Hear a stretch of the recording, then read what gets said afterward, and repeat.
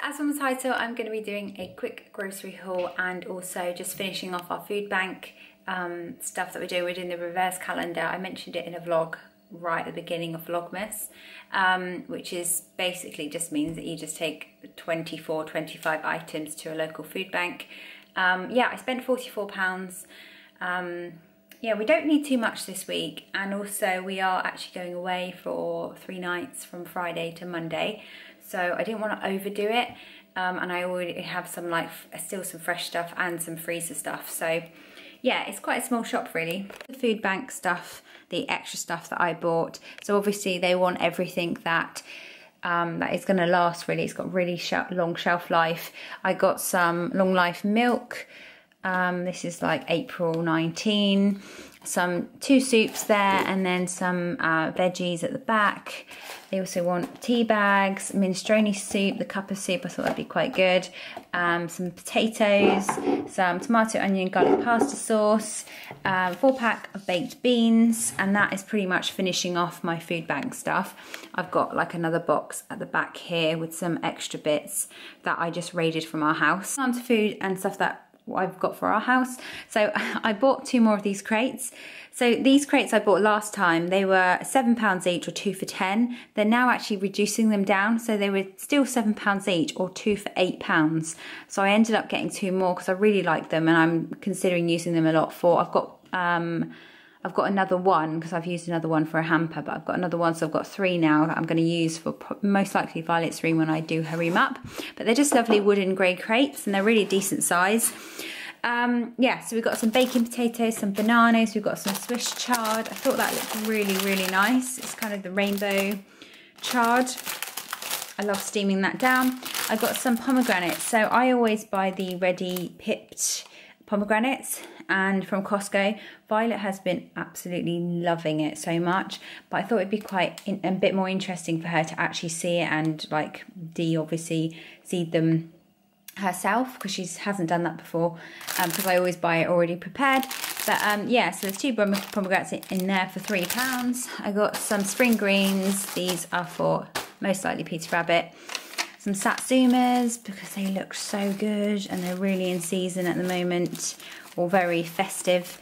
Um, I got also got some mixed nuts. Um, yeah, again, the kids have been liking going through the nuts that I put out the other day from the farmer's market, but they only had walnuts and I think, I can't remember, chestnuts maybe. So I just got a variety bag. I got some skimmed milk for me. Uh, I also got some kefir. I actually really love the strawberry kefir that I had a couple of weeks ago. So I got the mango and passion fruit um, version. This is the Yeo Valley type. It's really creamy. Uh, cucumber, I've got some sweet and mild pickle silver skin onions. I actually just going to put them away for Christmas. Um, like a cold, you know, when you have like the cold lunch on Boxing Day.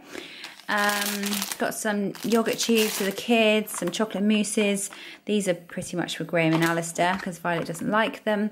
Some mini chocolate digestive little like separate biscuits uh, packs. These were two for two pounds. Some skips, Wotsits. They were a pound a bag. They're six in each. Also got some baked beans for ourselves. These are actually only one pound 10p and they're really nice. They're really good beans honestly. The kids and I we can't even tell the difference. Um, and they're always low sugar as well.